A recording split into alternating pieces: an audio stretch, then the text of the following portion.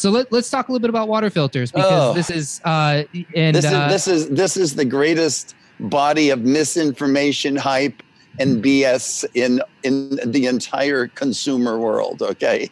okay. Please lay it on me because this is uh this is a question I see popping up a lot. So where are we Well, going I'm- wrong with this whole thing? I'm, I'm not sure we're going wrong. We're just misinformed and confused because people are trying to sell something, and, and that's always been a problem in our society. But if somebody is a true biohacker and absolutely wants to avoid every possible contaminant that let's just start with municipal water okay? Because when you start taking like water from in thailand it gets very complicated. Maybe you have viruses there.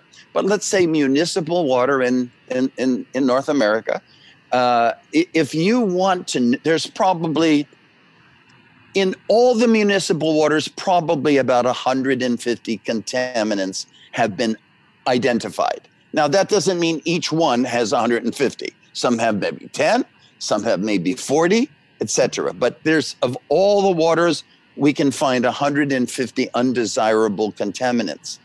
Now if you say my standard is to remove all or a high percentage of those contaminants that long range can affect my health because very few contaminants in modern municipal water in North America can have an acute influence on you. I mean, you're not going to like fall over, okay? It, it might take months to years.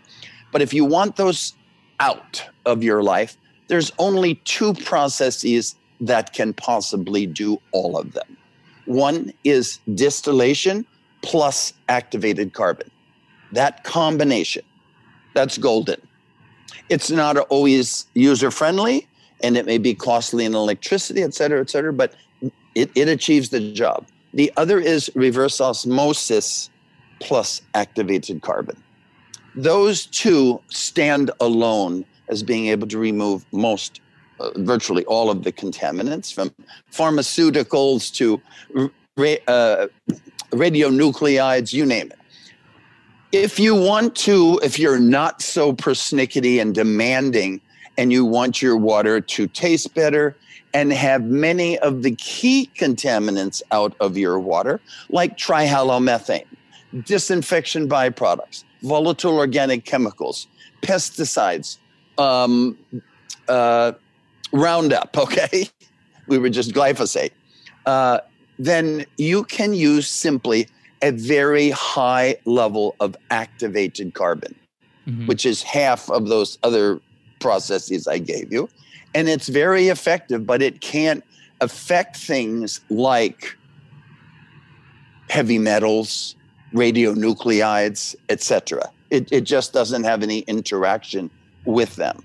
Now, with that said, there is so much lying going on in the world of products that use those technologies. So many caveats need to be explored by the consumer. And we, we, we could go on three shows and not finish, but it's rife. It's a minefield of misinformation. And that's where I do podcasts and try to answer people's questions that are very detailed. Is there one and it- not i'm not asking you to name a specific uh, water filter unless you want to. Um, but i'm not asking you to do that. Um, but more like is there a feature or something that somebody could see on a water filter package or marketing Well, or website I'm- that tips you off that it's not good? I'm I'm very I'm I'm I'm very glad you actually asked that. One, perhaps the most fail safe that you don't have to think a lot about its form is a a let's say a high quality distiller plus reverse osmosis. Uh, uh, sorry, a distiller plus activated carbon. Mhm. Okay. It's a, such a simple, natural process. It's hard to beat it. Now, when you distill or when you use RO, you do remove everything. You remove the bad stuff and you remove any potential good stuff that might include minerals and trace elements. Mm-hmm. So you have to restore those minerals and trace elements. That is very important.